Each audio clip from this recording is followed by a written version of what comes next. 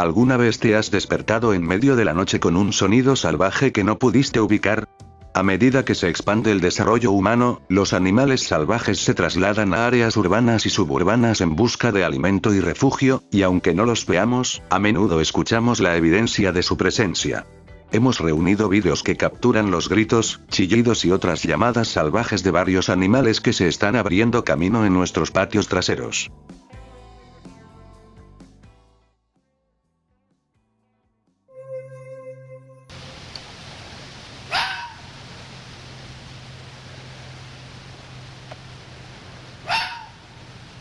Los zorros rojos y grises están bien adaptados a la vida urbana, y no son peligrosos para los humanos a menos que sean rabiosos, lo cual es muy raro.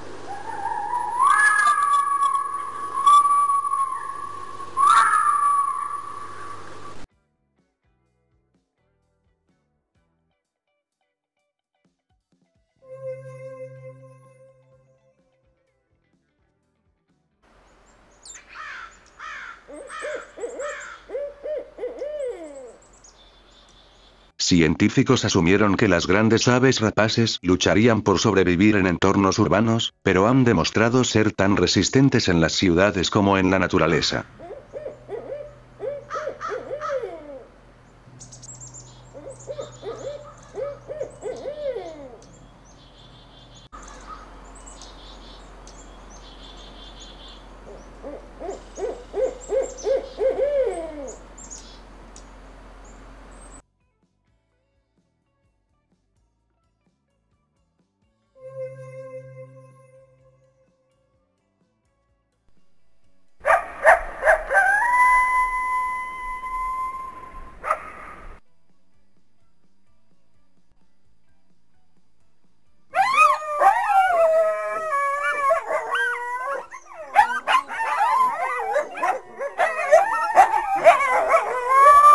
Los expertos dicen que la presencia de coyotes en las ciudades prepara el escenario para depredadores más grandes como lobos, leones de montaña y osos.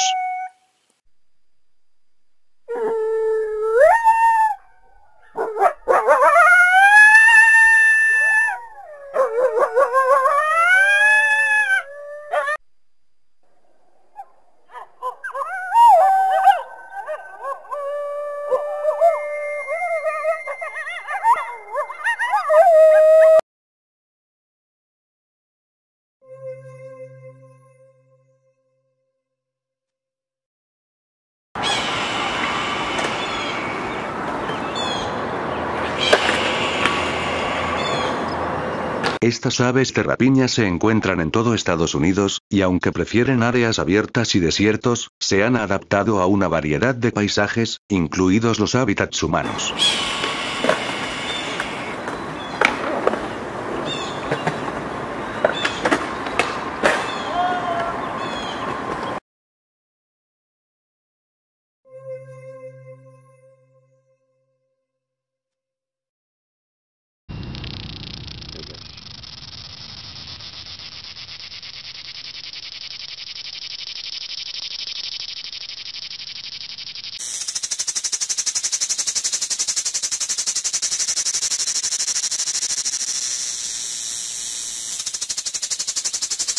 Durante el verano, escuchará los zumbidos y chasquidos distintivos de este insecto, y se sabe que alcanzan los 120 decibeles.